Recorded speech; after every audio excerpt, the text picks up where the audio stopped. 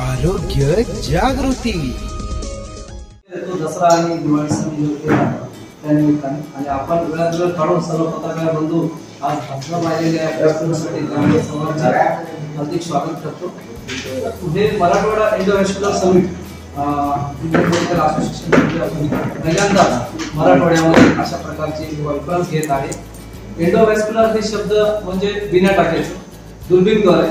आणि हे मराठ्यासाठी मराठवाड्यासाठी खूप सौभाग्याची गोष्ट आहे की जे आपले इथले डॉक्टर्स जे बाहेरच्या कंट्रीजमध्ये किंवा बाहेरच्या सिटीमध्ये इंडियामध्ये मुंबई असो दिल्ली असो किंवा बेंगलोर चेन्नई अशा ठिकाणी जाऊन आम्ही ते शिक्षण घेत होतो. पण तेच शिक्षण आज आपल्या मराठवाड्यामध्ये आपण आपल्या देशांना तेच देतोय. म्हणजे बिना टाक्याचे सर्व हिस्कुला रक्तवाहिन्याशी संबंधित सर्व आजार. मेंदूमध्ये हे फार किचकट असतात गोष्टी.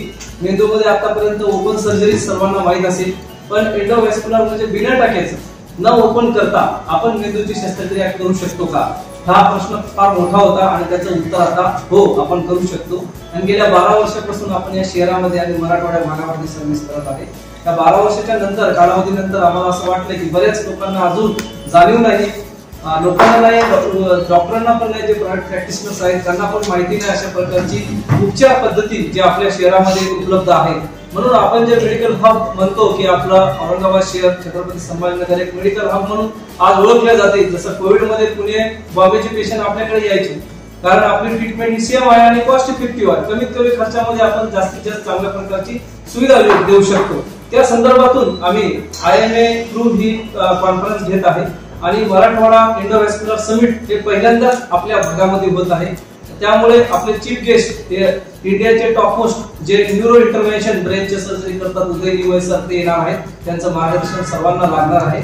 तसेच आपल्या शहरातील जे नामवंत न्यूरोलॉजिस्ट आहेत मेंदू विकार तज्ञ किंवा न्यूरो सर्जन आहेत सर्व नामवंत जे सिनियर मोस्ट आहेत त्यांना आपण गेस्ट फॅकल्टी आणि चेअरपर्सन म्हणून इन्व्हाइट केलेलं आहे.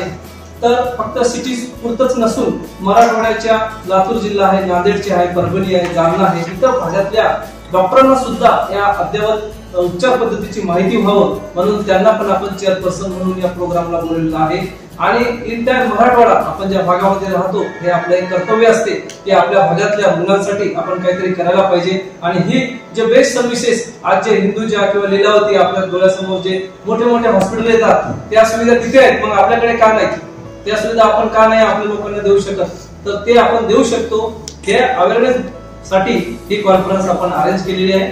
तर सर्वांनी याचा फायदा जनसामान्य जनतेसाठी जास्तीत जास्त व्हावा आणि नवीन टेक्नॉलॉजीची ट्रीटमेंट ही सर्वांना माहिती व्हावं. या संदर्भातून ही आपण कॉन्फरन्स फार त्याची घेत आहोत. काही प्रश्न असतील तर नक्की विचारा. धन्यवाद.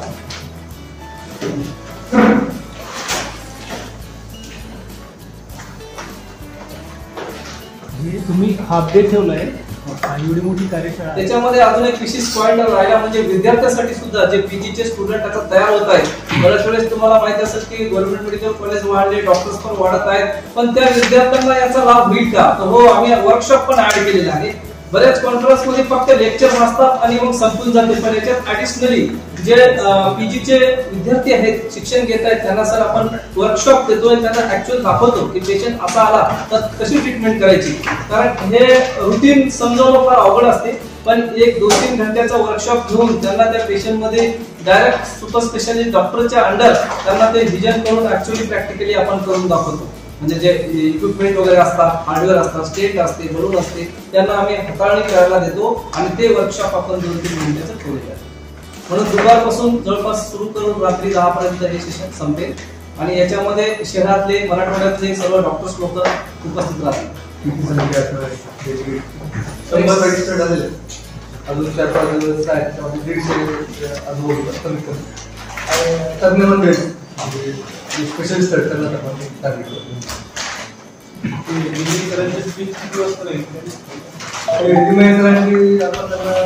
त्यांना ते आठ असा टाइम दिला पण त्याच्या साडेसात ते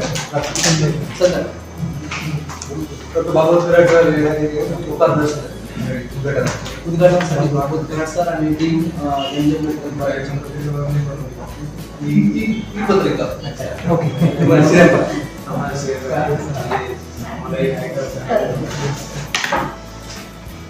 आणि स्टुडंटसाठी आपण दोन घेतला थर्टी टू स्टुडंट. तुम्ही म्हणाले का मेंदूच्या रक्तासंदर्भात बिना टाकेची शस्त्रक्रिया होते आणि शहरातल्या असतात कोणत्या हॉस्पिटलमध्ये होतात आणि तिथे आता किती शस्त्रक्रिया झाल्या इथे आम्ही स्वतः मीच करतो. हा, त्याच्यामुळे इथे एमजे मेडिकल कॉलेजला करतो. एमजे हॉस्पिटलला आहे. मी जिथे इथे आहे ते आकाश हॉस्पिटल त्याच्यानंतरला करतो. पण मॅक्झिमम मी एमजे मेडिकल कॉलेजला करतो फ्लो किती आणि किती आता? आतापर्यंत पाच हजाराच्या वरी मेंदूच्या शस्त्रक्रिया बारा वर्षी आतापर्यंत अशा प्रकारची मी घेतलीच नाही सीएमए कारण आपल्याकडे वर्कलोड खूप प्रचंड आहे. आणि इंटायर मराठवाड्यात कोणी नसल्यामुळे सर्व पेशंट आपल्याकडे येत होते. मी येण्याच्या अगोदर पेशंट मुंबईला जात होते. आणि मुंबईमध्ये मी शिकायला के एम हॉस्पिटल मुंबईला होतो. आणि मी नांदेडचा असल्यामुळे आणि साधारण परिस्थिती असल्यामुळे मला जाणीव झाली की अरे आपणच हे शिक्षण आपल्या भागात दिलं तर फार फायदा होईल. आणि मराठवाड्याचे सगळे पेशंट तिकडे यायचे. तर बऱ्यापैकी आता पेशंटची ट्रीटमेंट आपल्याच लेवलला होत आहे. इथेच होत आहे. त्याच्यामुळे पुढे जायचा एक टप्पा वाचला त्यांचा. आणि बऱ्याच प्रोसिजर या स्कीममध्ये असल्यामुळे महात्मा गांधी जन आरोग्य योजना आहे. त्यामुळे बऱ्याच रुग्णांना त्यांचा फायदा होतो.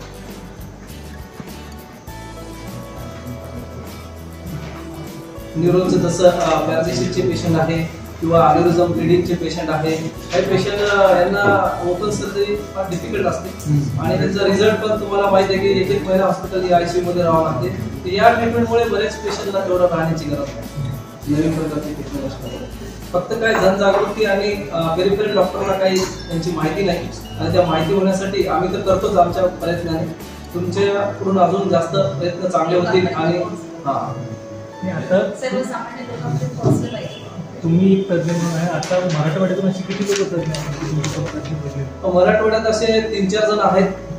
कमी आहे हा संख्या कमी आहे. येत आहेत. आता नवीन नवीन शिकून येत आहेत. जसं आपण सुरुवात केली पण आता त्यांना जाणीव झाली आणि बऱ्याचशा डॉक्टरांना पण माहिती होत आहे. कारण मला पण कालावधी दहा वर्ष होऊन गेली. त्याच्यामुळे दहा वर्षामध्ये आपण रोज पेशंट करत असतो. त्याच्यातून माहिती पसरत जाते. हळूहळू.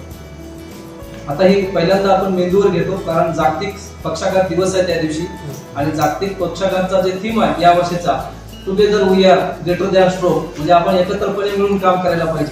कोणती स्पेशालिटी बऱ्याच वेळेस आल्याच्यानंतर हा पेशंट माझा नाही माझा नाही असं न करण्यापेक्षा आपण सगळ्यांनी एकत्र येऊन त्याच्यावर जर काम केलं आणि ती थीम बाळगली तर स्ट्रोक किंवा पॅरालिसिस सारखे आजार नक्कीच दूर आणि दुसरं एक महत्वाचं जनजागृतीसाठी आपण त्या दिवशी सायकल रॅली एमजीएम गेटपासून आय एम हॉलपर्यंत कसं आहे, याच्यामध्ये जनजागृती का आवश्यकता आहे? कारण स्ट्रोक म्हणजे पक्षाघात जितका आधी डायग्नोसिस तितकं त्याची ट्रीटमेंट चांगली.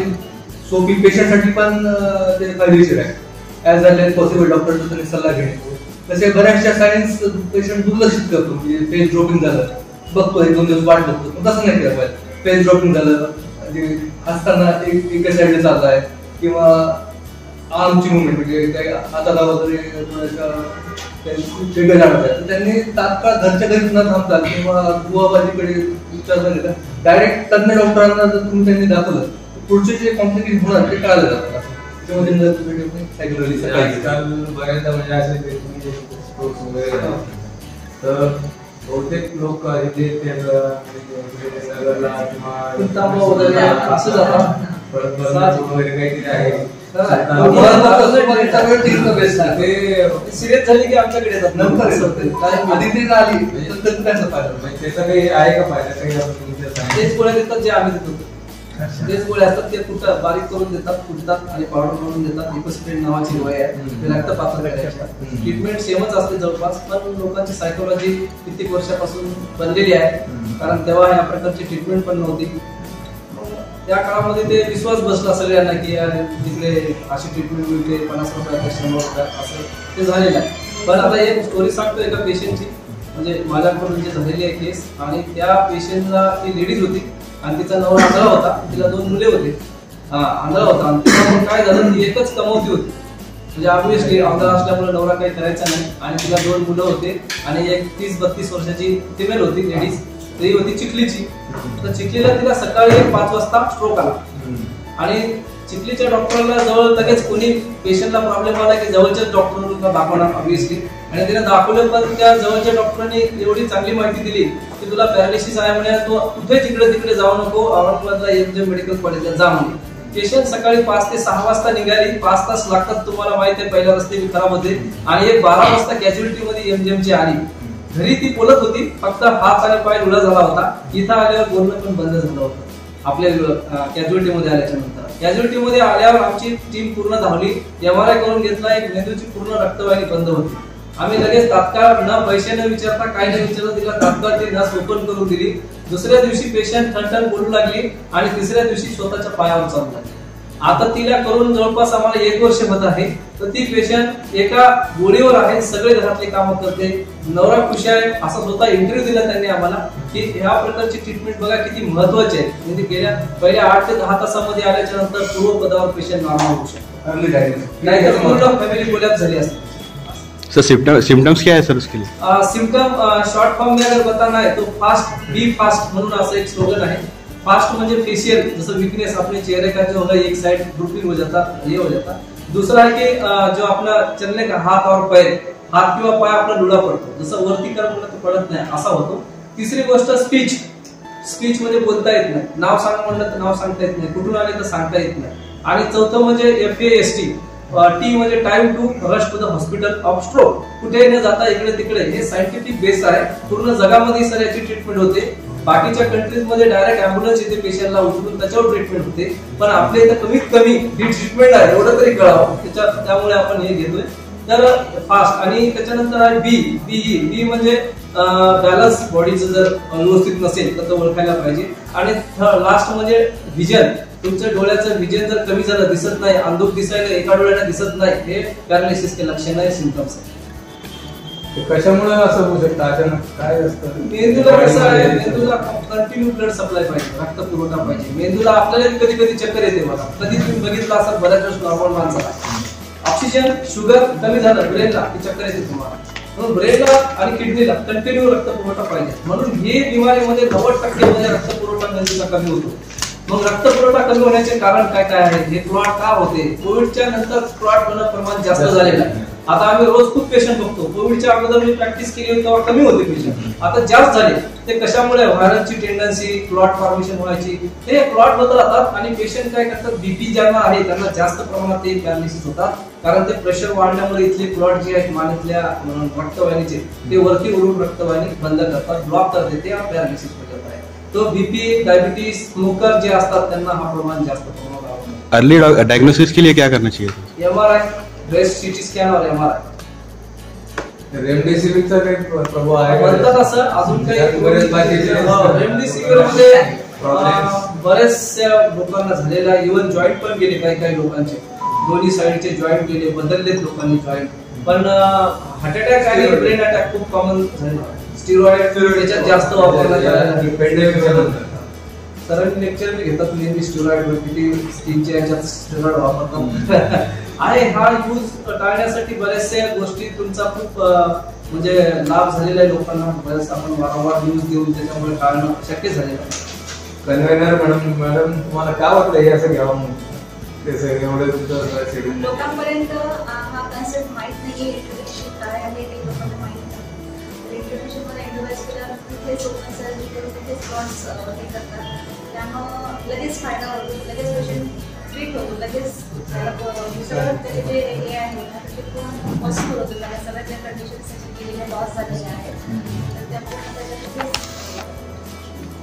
आणि लोकांना कन्सेप्ट माहीत नाही. मुंबई पुण्याला हा कॉमन कन्सेप्ट आहे पण आपल्या मराठवाड्यातल्या हा कन्सेप्ट नाही आहे त्यामुळे त्याची जनजागृती होण्यासाठी आम्हाला असं वाटतं की याच्यामध्ये बऱ्याच बऱ्याच कॉन्फरन्सेस मध्ये लाईव्ह डेमो दाखवतात तर सगळे. वर्कशॉपमध्ये चाललं स्टुडंटला शिकवण्यासाठी लोकांना माहीत नाहीये पण आपण कॉन्फरन्स डॉक्टर कधी घेतो हा ना त्यामुळे तुमचं मदत जास्त होईल कारण तुमची जबाबदारीचा अशा प्रकारे येईल तर लोक वाचतीलच ते डेफिनेटली आणि त्यांना कळेल की एंडोवेस्टर ट्रीटमेंट आहे आपल्या इकडेच होते. असं. काही डॉक्टरांना पण माहीत नाही काय गोष्टी. काही काही डॉक्टरांना माहीत नाही. पण औरंगाबाद शहरात आपले छत्रपती संभाजीनगरमध्ये बऱ्याच डॉक्टरांना माहिती आहे. कारण मला बारा वर्ष होत आहे त्याच्यामुळे. पण पेरिफेरीच्या तालुका माहीत नसते.